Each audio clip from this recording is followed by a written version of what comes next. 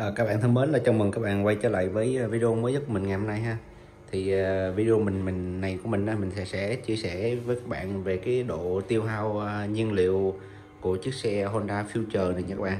Thì đây là chiếc Honda Future phiên bản 2023 nha các bạn. Thì nó uh, nó nó chưa ra cái mẫu mới cái mẫu này vẫn là mẫu cũ nha các bạn. Thì uh, về cái nhãn năng lượng thì ờ, nhà sản xuất công bố là 1.54 lít trên 100 km cho các bạn. Thì vậy thì tính ra là 65 ờ, km trên ờ, 1 lít xăng. Nhưng mà thực tế thì con số này nó sẽ tốt cái số thực tế nó sẽ tốt hơn cái số của nhà sản xuất công bố nha các bạn. Thì xe mình đã đổ được 4 lần đổ xăng rồi, đi gần 1.000 km rồi nha các bạn. Thì hôm nay mình sẽ làm cái video chia sẻ các bạn là cái mức độ tiêu hao nhiên liệu của À, chiếc xe này ha. Thì ở đây mình có bản à, thống kê chi tiết ra nha các bạn. Rồi, thì cái lần mà mình đã đổi xăng được 4 lần nha bạn. Thì cái lần đầu tiên mà khi mà dắt xe trong hãng ra là cái ô đô bằng không đó là mình sẽ không ghi vào đây ha. Thì khi mà dắt xe trong hãng ra thì mình sẽ đổ đầy bình xăng để mình canh.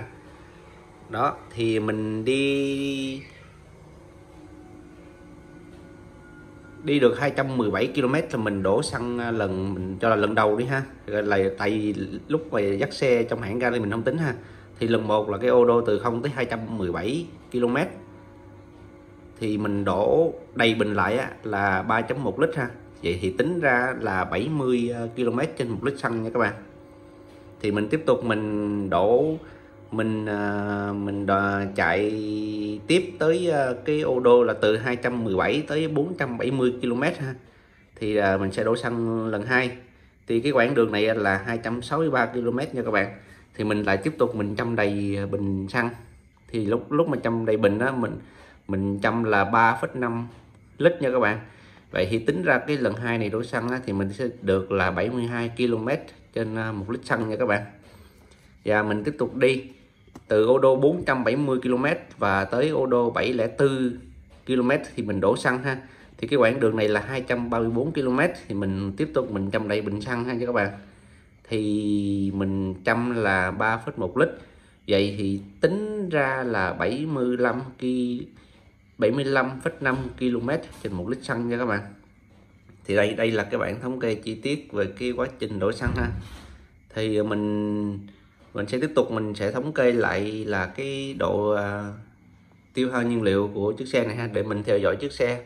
Cũng như là các bạn nên nên theo dõi chiếc xe để các bạn biết được cái tình hình của xe bạn đi như thế nào ha. Ví dụ như là đang mức tiêu hao nhiên liệu trung bình là 70 km trên lít xăng đi. Nhưng mà tới chạy một khoảng thời gian thì nó nó giảm xuống còn 60 hoặc là tới 50 km trên một lít xăng thì lúc này các bạn phải biết được để các bạn đoán được là xe mình nó đang gặp vấn đề như thế nào mà do hao xăng bất thường như vậy ha nha các bạn.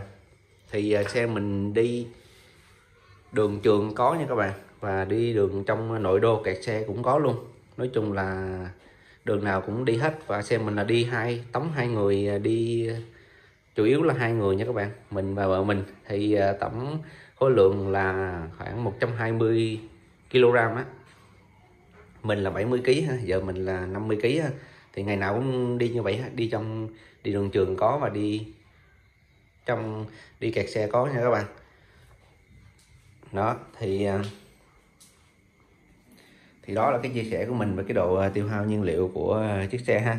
Thì đây thì cái cái cái bảng này là mình đã uh, ghi lại cái cái quá trình đổ xăng ha. Thì xe mình đi được là 898 gần 900 ờ, km rồi. Và cái mức xăng nó báo gần hết rồi nè thì mình sẽ tiếp tục mình ghi nhận là cái, cái con số này ha để ờ, chia sẻ cho các bạn. Tại vì những các bạn nào mà mua xe future thì các bạn đều quan tâm để đến cái độ tiêu hao uh, nhiên liệu ha. Thì mình làm cái video này để chia sẻ lên với các bạn để các bạn nắm được cái cái thông tin nha các bạn. Đó thì đi được gần 900 ờ, km rồi thì ờ, xe nó đi vẫn bình thường, rất là êm nha các bạn. Còn còn có những, một số cái lỗi vặt thì mình đã chia sẻ ở các video khác rồi. Thì chia sẻ với các bạn luôn là khi mà cái vạch xăng này nó báo gần tới chữ E vạch đỏ thì lúc này bạn, các bạn châm đầy bình xăng thì các bạn chỉ châm được cỡ cỡ 3 lít thôi nha các bạn. 3 lít. Nè, cái vạch xăng này tới mức đỏ nè, thì các bạn đổ đầy lại thì chỉ 3 lít thôi có nghĩa là cái vạch đỏ này khi mà xe nó cái kim xăng báo tới vạch đỏ này thì trong bình xăng của xe các bạn nó vẫn còn cỡ một lít 6 một lít 7 nha các bạn. Tại vì cái bình xăng của xe future này dung tích của nó khi mà độ đầy là tới 4 lít 6 lần. 4 lít 6 lần ha. Và mình canh lần nào cũng vậy hết. Xe tới cái vạch uh, kim xăng nè tới cái vạch đỏ thì mình chăm lại chỉ có được 3 lít 1 3 lít 2 là cùng vậy là khi mà tới vạch đỏ này thì trong bình xăng của các bạn còn cỡ cỡ khoảng một lít rưỡi. Thì các bạn có thể đi được cỡ khoảng 100 tới 120 km nữa thì mới hết xăng hoàn toàn nha các bạn. Thì đó đó là cái chia sẻ của mình về cái đồ tiêu hao nhiên liệu của chiếc xe Future nha các bạn. Rồi, cảm ơn các bạn đã xem. Xin chào các bạn.